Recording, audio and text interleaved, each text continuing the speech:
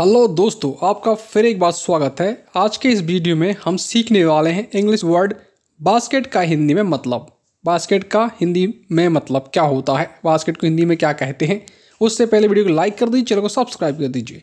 Basket basket का मतलब होता है टोकरी। टोकरी या फिर डलिया। आपने अक्सर सुना होगा, टोकरी और डलिया। उसको हम इंग्लिश में कहते हैं बास्केट बास्केट का हिंदी मतलब हुआ टोकरी और डलिया।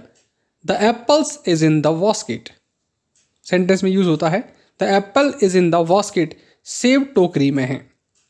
तो उम्मीद करते हैं वीडियो अच्छा लगा होगा। वीडियो अच्छा लगा तो लाइक कर दीजिए और चैनल को सब्सक्राइब कर दीजिए, साथ में घंटी का आइकॉन दबाइए। मिलते हैं अगले वीडियो में। Thanks for watch